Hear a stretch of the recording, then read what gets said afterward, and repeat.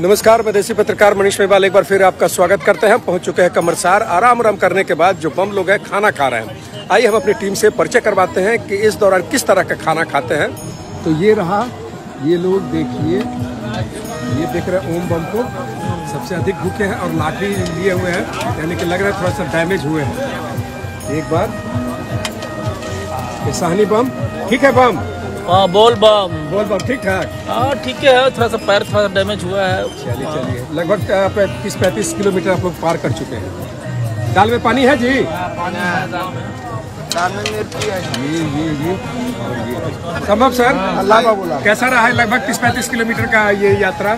देखिए बहुत ही कठिन रास्ता होता है और उन लोगों के लिए तो ज़्यादा होता है जो कॉर्पोरेट वर्ल्ड में ऑफ़िस वर्क करते रहते हैं बैठ सही के बात आपके जैसे लोगों के लिए बहुत ही टफ है ये बात ये बहुत टफ है। मेरे जैसे ही नहीं मेरी टीम में बहुत सारे लोग ऐसे हैं जो कि फ़ील्ड वर्क उनका नहीं होता है। वो ज़्यादातर ऑफ़िस में या फिर फ़ील्ड वर्क होता भी है तो काफ़ी सुख सुविधाओं के साथ होता है। उनके पास लग्जरी कार तो अभी दिन भर चलने के बाद अभी आप खाने पर बैठे हुए क्या खास क्या रहता है अभी आप लोग के खाने में? देखिए खाना जितना सिंपल हो ना उतना मज़ा आता है। अब देखिए जैसे मेरे खाने को देखेंगे तो एक साधारण सा चावल है अरवा चावल जिसको हम लोग खाते हैं।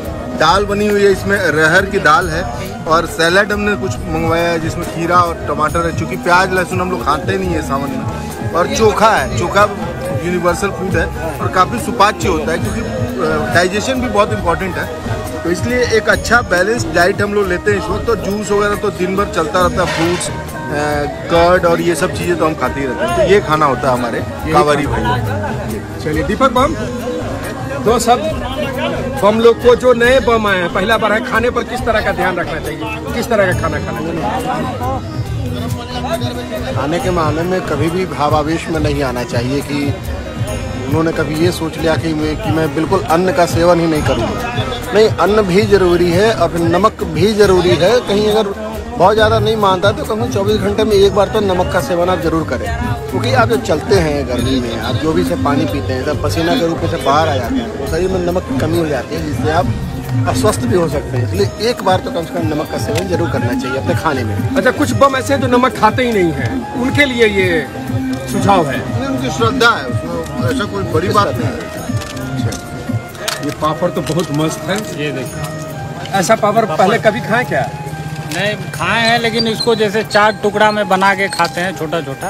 लेकिन यहाँ एकदम पूरा स्वच्छ है और बड़ा और अच्छा। बहुत बड़ा। और राजा भैया कैसा रहा अभी तक का यात्रा? बहुत बढ़िया।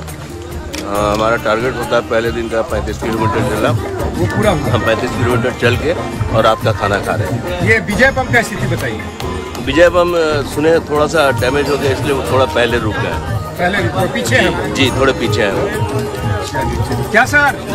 कैसा चल रहा है? बहुत बढ़िया चल रहा है। पापड़ तो बहुत मस्त लग रहा है आपके हाथ में। बहुत अच्छा पापड़ तो कैसा रहा यात्रा अभी तक का? अभी तक का यात्रा थोड़ा सा टफ था इस बार क्योंकि दो साल हो गया था। बट आज का आज का जो दिन था वो बहुत अच्छा रहा। आज का दिन। अच्छा तो बाबू ये आप मेरा खाना यहाँ रेडी है। तो इस तरह का जो भी ऐसा एक्टिविटी हो जो बाकी लोग बाकी बम समझ सके उन लोगों को समय समय पर हम बताते रहेंगे। धन्यवाद। देखते रहिए हमारा ये देवघर यात्रा। बहुत बम का नारा है, बाबा एक सहारा है।